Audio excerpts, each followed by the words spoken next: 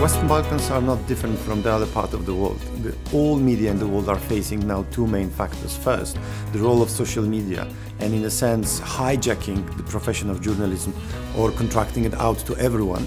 And second is uh, polarization of audiences, political scene, of societies. These two elements dictate now new strategies and new business models.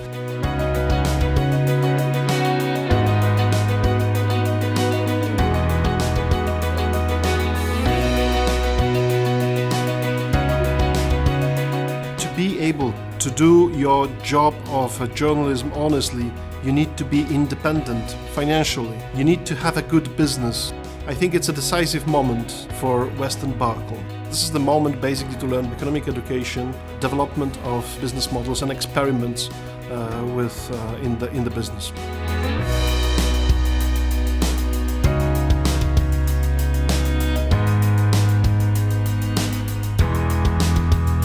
Right now, in the Western Balkans, but also generally around the world, you see this crisis of media legitimacy. We think that there's a lot of information, but not a lot of sense in the media.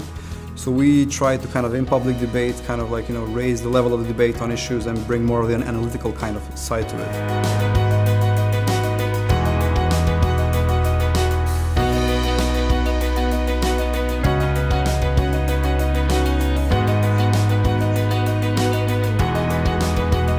When it comes to the professional standards of media, I believe that we should focus on education, that we should educate both and journalists and the consumers of media. They have to know how to read the news and how to recognize manipulation.